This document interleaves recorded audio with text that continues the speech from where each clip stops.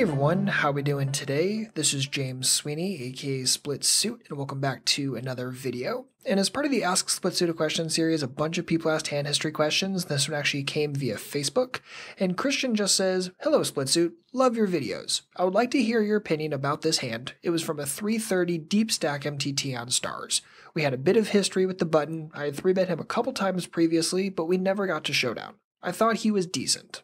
Okay, so at this stage in the game, the blinds are 100, 200 with a 20 ante. It folds around to the button who opens for a min raise. We have king queen off in the small and decide to three bet. And it's a, you know, you mentioned that you've been three betting him a little bit so far. I'd be very careful three betting here if you think that he's going to start adjusting by four balling. Because if he four bets, do I really want to rip it? You know, I have to make that decision right this moment. So if you guys have been worrying and you've been three betting him a lot, ask yourself, you know, okay, is he adjusting? And if so, how? If he's just the kind of guy that's going to call your three bets, whatever. If he's the kind of guy that's going to start four betting your three bets, though, you need to have that plan of attack now, especially in a tournament when it's one life to live, when you have shorter stack sizes typically you know, make sure you have that plan. But as for the three bet itself, I can totally be okay with it. Just again, be aware of the dynamic. We end up getting called, go heads up to it, end up flopping gut shot, overcards, and a flush draw. Sweet. So we decide to continuation bet, and this is one of those spots where you could consider a check raise. I think the stack sizes are a little bit odd for a check raise because if you check and he bets for like 15, you check raise to what, like 4.4? It's not the cleanest thing in the entire world. So it's just one of those where if I don't love a check raise, typically I'm just going to go with my traditional continuation bet, go from there. End up getting called. Okay. End up improving to the nut card on the turn. Can't complain about that. And we decide to double barrel for 2.7. Okay, so at this stage in the game, a double barrel is okay, certainly something that we could consider doing, but I'd also like to pause for a moment and consider going for a check raise instead. So this is the kind of situation where I ask myself, okay, what kind of hands did he call my three bet with? And obviously these are all questions I asked myself earlier. I just didn't ask them out loud in the video, but in my head when I'm playing a hand like this, I'm always asking myself these kind of questions. What was his range when he called my three bet? What kind of range would he have called my continuation bet with? Again, view the dynamic of you guys have been warring a little bit, does that widen his ranges or tighten his ranges? And I'm typically going to assume it's going to widen them. So I assume that when he gets to the turn, he's going to hit this board some percentage of the time. If he has a monster flush, whatever. I'm not super worried about that to be honest, because I assume that he would have four bet with ace kings, that nukes out ace king of spades. We have the queen, so he can't have ace queen of spades, which then puts up ace jack of spades. And then does he really have like ace eight of spades or ace seven of spades? I think that's certainly up for debate. So the fact that we have the Queen of Spades in our hand is actually a really, really vital card because it nukes out pretty much all the flushes that he could realistically have you know, unless he's calling things like eight, seven of spades and stuff preflop, which is possible, but there aren't a ton of them. So, like, given the exact texture, given the exact hand that we have, it's very difficult for him to have a made flush. So, definitely make sure you keep that in mind. So, all of that said, I'm not really worried about that. What I'm thinking though is that he's going to have things like one pair, I think he could have something maybe like an ace queen. I think there are definitely hands like that in his range. And I think that if I check, he's probably going to bet with a lot of it.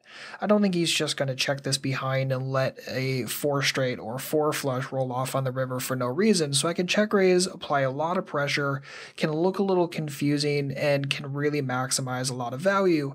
Whereas I'm not necessarily sure going for three streets here is always going to work out that great. It's not that I'm fearful of going three streets of value here. It's just I think that a check raise here could certainly be better. Now, I'm going to preface that all by saying I'm not a tournament player, but this is a deeper stacked hand in the sense of, you know, for a tournament, I think we started this with give or take like 75 big blinds, and as far as I'm concerned, that's close ish to a cash game. So I'm going to keep that kind of mindset in mind. But if this is incorrect from a tournament standpoint, I'm all ears. We can definitely have a conversation about it. But I feel pretty comfortable going for a check raise. I think, regardless of what he called the flop with, whether he called the flop with one pair, whether he called the flop with something like King Jack and he just improved to a Jack on the turn, whether he was just totally messing around on the flop or just has the naked ace of spades. I think he's going to bet pretty much all of that when I check to him. And because of that, I really like check raising. So that's just kind of the long, long road of saying consider a check raise, or at least heavily consider a check raise here. not going to fault the double barrel. I don't think that it's wrong. I don't think it's bad. I just think that it's suboptimal.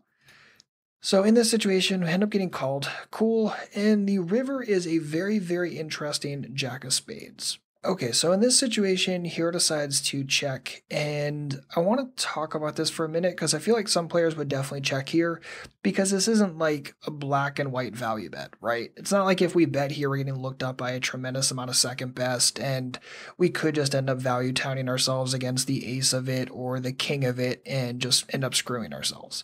So we're in a situation here where I first ask myself, okay, are there any like nut combos? Well, I don't think there's going to be any boats. I don't think there's going to be any quads. I think that if he had pocket tens that he raises out on the flop a lot. Same thing with pocket nines. Same thing with jacks. I think there's a, a decent probability he would have just four bet that pre-flop. So I don't really think he has anything like that. And even if he has something like jack 10, would he have considered raising a turn? I think there's certainly a consideration for that, especially again, given exactly how wet that turn card is.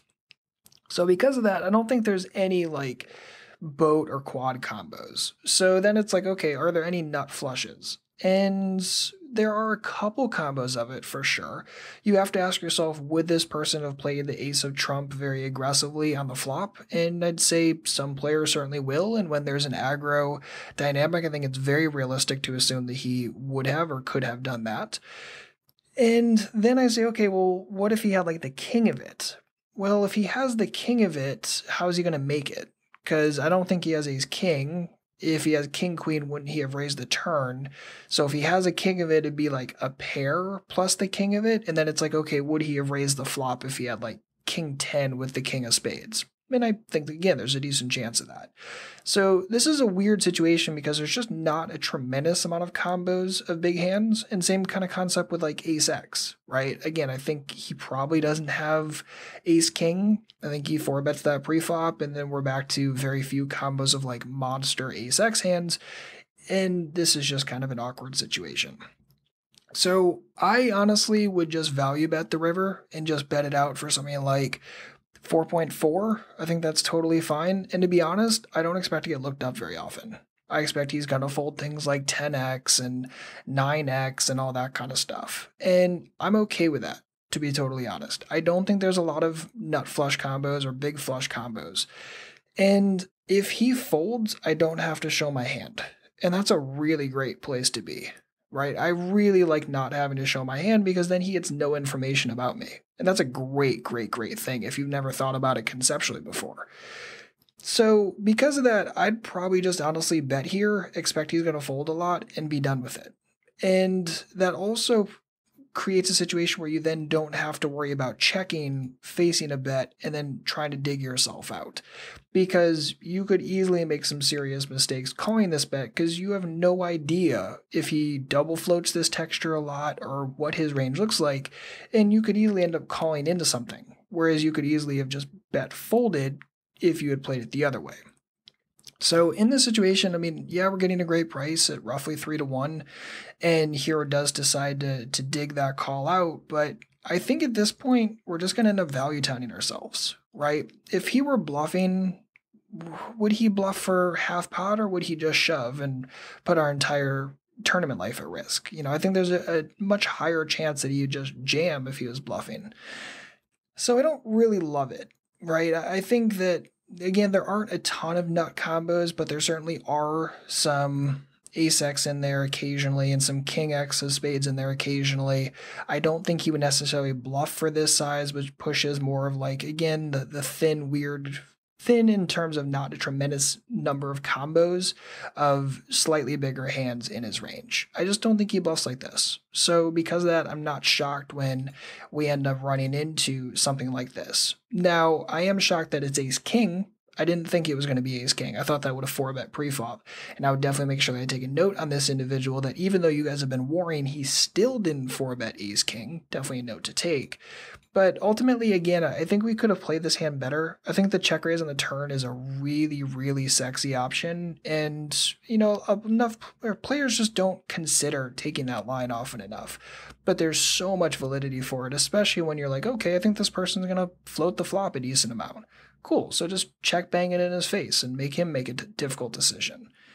So, again, a lot of discussion here. And again, I'm not a tournament player, so I'm not going to claim that this is like necessarily perfect tournament advice, but I still think that the turn check raise discussion is super, super crucial. And the river betting decision is really important. You know, again, too many players just go into this like black and white mode where, oh, well, if I bet the river, I'm never getting looked up by second best combos, so I can't bet it.